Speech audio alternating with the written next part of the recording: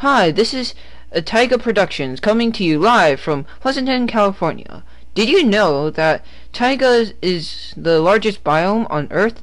Oh, why listen to me talk? Now join us live. We go to Tandy, live from the taiga.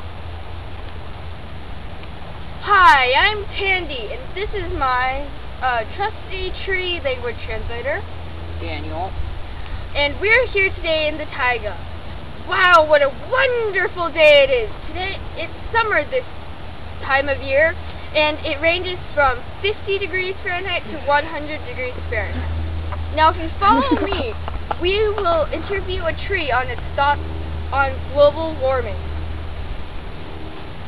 So, uh, what's your name?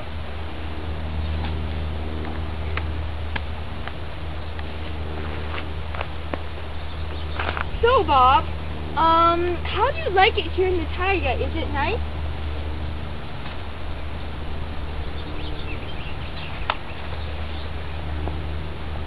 He says it's very nice here in the north. Thank you.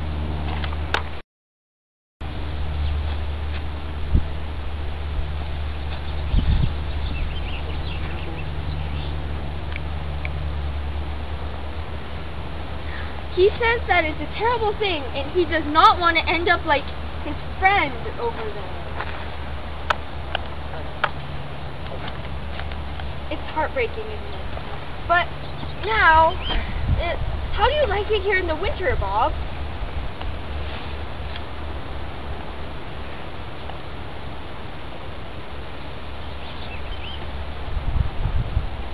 He says he likes it here because he likes the cold because he has very adapted bark that keeps out the cold and keeps the water in.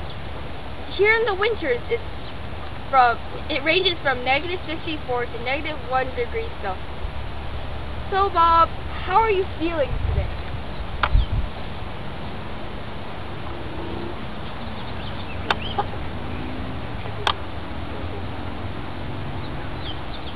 He says that he's not doing very good today because everybody's contributing to global warming, but not many are helping.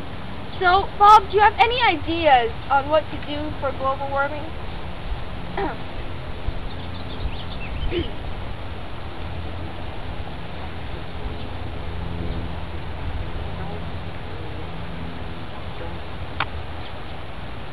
well, he says that not to drive as much and to stop doing your homework as a protest.